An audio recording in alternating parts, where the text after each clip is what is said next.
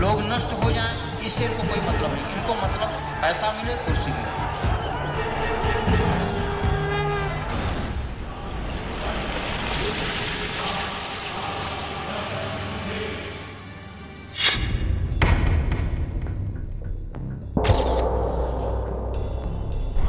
Sharma claims to have been witness to the smuggling in of Ramlala on a certain early morning of December 1949. At the time, he was posted as a warrant officer with the military police in Ayodhya. He tells the reporter, तो महंत रामदास जी ये फौजी बल माने जाते थे वो हमारी unit में भी आते थे हर संडे तो उन्होंने हमसे कांटेक्ट किया कि फला दिन हमारा ख्याल है 15 दिसंबर होगा ऐसे ऐसे रामलाला विराजमान होने हैं 1949 में जो रामलला विराजमान हुई जी। तब मैं मिलिट्री पुलिस में था फैजाबाद। जी। तो हमारे साथी भी कुछ गए थे वहाँ। ठाकुर गुरदत्त सिंह। आप मिलिट्री में थे? हाँ, मिलिट्री पुलिस में। जी। और ठाकुर गुरदत्त सिंह थे। जी। वहाँ के जिला क्या बोलते हैं डिस्ट्रिक्ट मजिस्ट्रेट। जी। और नैयर साहब थे नैयर नहीं नायर जी। वो भी थे कुछ पता नहीं बड़े अधिकारी। तो महंत राम चाय पी लो। भाई चाय ले आओ। रामचंद्र दास महंत रामचंद्र दास जी हम्म, ये फौजी जी। बाबा माने जाते थे। जी। वो हमारी यूनिट में भी आते थे हर संडे को। तो उन्होंने हमसे कांटेक्ट किया कि फला दिन जी। मेरा ख्याल पंद्रह दिसंबर होगा। ऐसे ऐसे रामलला विराजमान होने हैं। कुछ साथियों को लाना।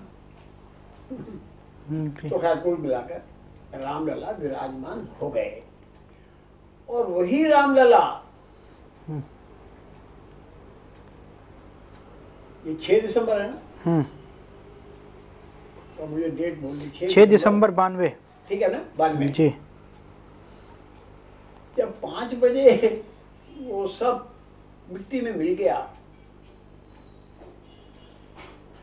तो एक कार्यकर्ता भागा भागा मंच के ऊपर जी। रामलला लेकर अडवाणी जी को देने लगा। हम्म, अडवाणी जी कहने मेरी तरफ़ इशारा कर दिया कि प्रेम जी को दे दो। हम्म, तब मैं मेंबर ऑफ़ पार्लियामेंट था। हम्म, वो रामलला वही रामलला मेरी गोद में आ गए। हम्म, चार मूर्तियाँ थी। हम्म।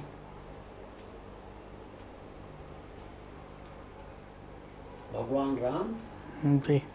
लक्ष्मण सीता और Hanuman ji. In his second meeting, Cobra Post reporter tells him that there was a theory of magical divine appearance about the Ram idols in Ayodhya. Sharma retorts that there was no divine hand involved. The idols were made to appear. In his words, अरे जी काहे के प्रकट होने वाले प्रकट किया है नहीं आपके यहाँ गए ये रामदास जी और बुलाया। नहीं नहीं। वो तो प्रमुख थे ना बड़े। हम्म। ओजस्वी तेजस्वी क्रांतिकारी। हम्म, नहीं ये तो संत महात्मा हम्म, आर्मी यूनिट में हर रविवार को आते ही थे। मतलब कहीं आज भी जाते? नहीं उन्हें पहले से कैसे पता था कि ये भगवान प्रकट होने वाले हैं। ये काहे के प्रकट होने से प्रकट किया है। वो कैसे प्रकट किया? वही तो बताइए। ये प्रकट ही है। क्या? मतलब भगवान प्रकट नहीं हुए थे? भगवान अब वो एक जन्म नहीं माना जाता। भय प्रकट कृपाला दीन दयाला। Nav Prem Singh Sheikh PL Sharma tells the reporter that he was present in Ayodhya on all three occasions. The first was in 1949 when Ram Lala was installed inside the Babri Masjid. The second was in 1990 when the first attempt to bring down the mosque proved to be unsuccessful. And then in 1992 when the Babri Masjid was finally demolished.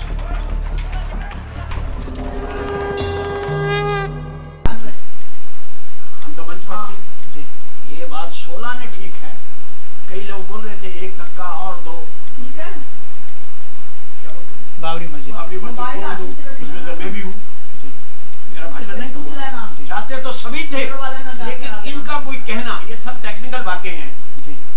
चाहते तो सब थे दुनिया से ये बचने के लिए टेक्निकल है ना क्योंकि मैं तो उसमें हूँ जो वो केस जो चल रहा है। जी। हमें तो गर्व है एक तो काम हुआ हमें गर्व है। इसलिए फांसी को किसी को टांगना टांगना हमने तोड़ा नहीं है लेकिन हम इस पक्ष में थे कि टूटना चाहिए। हिंदुस्तान के अंदर साढ़े तीन हज़ार से ऊपर हमारे मंदिरों के ऊपर मस्जिदें खड़ी की हुई हैं। अगर हो तो सारे हिंदुओं को वापस करो यहाँ से शुरू करो कुतुब मीनार से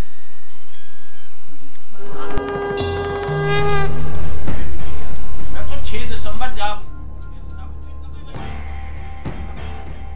A human act of physically installing the idols of Lord Ram at a strategic place was hyped as a divine occurrence.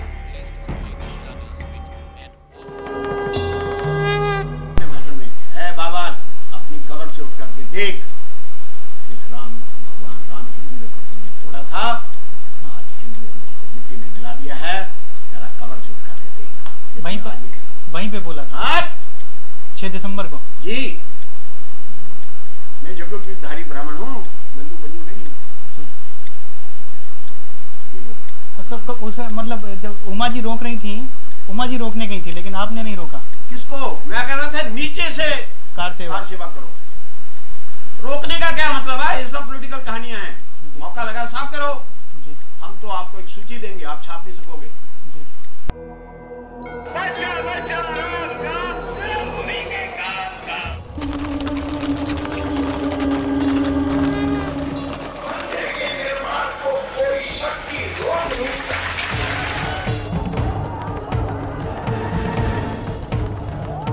लोग नष्ट हो जाएँ इससे इनको कोई मतलब नहीं। इनको मतलब पैसा मिले, कुर्सी मिले।